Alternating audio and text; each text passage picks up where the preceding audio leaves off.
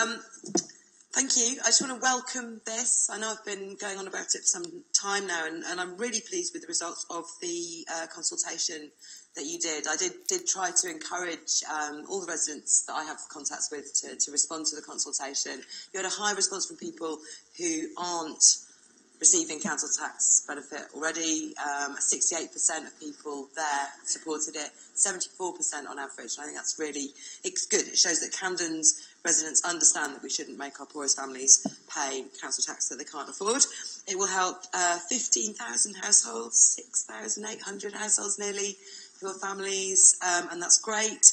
Um, can I ask though, seeing as you've agreed that this is money that you shouldn't potentially be collecting, will you cancel the legal costs that have been built up by people who've, who've, got behind under the current scheme now? And will you stop charging any new charges now to people who get into trouble right up to the end of this financial year? Because this does not start till April. There are still people getting uh, into difficulties because of what we're charging them now. We can avoid putting additional costs onto those debts if they start to, to get behind.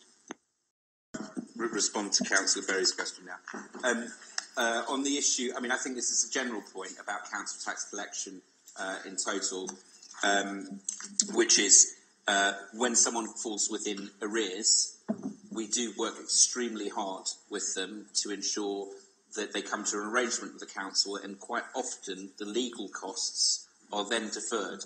I don't know the precise numbers, but I'm happy to look into them. Um, well, I mean, but I, I can't you know, I can't give you a commitment now without actually knowing the precise numbers, but I know that our officers work extremely hard to make sure um, that people come to an arrangement which is suitable for them, especially if they're deeply in debt. And we're lucky to have some really, really professional staff here.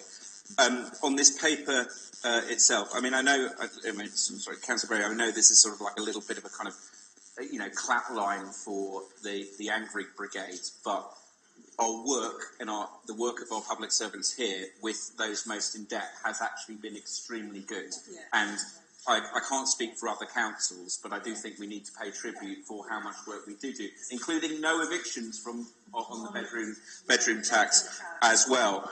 Um, so. Um,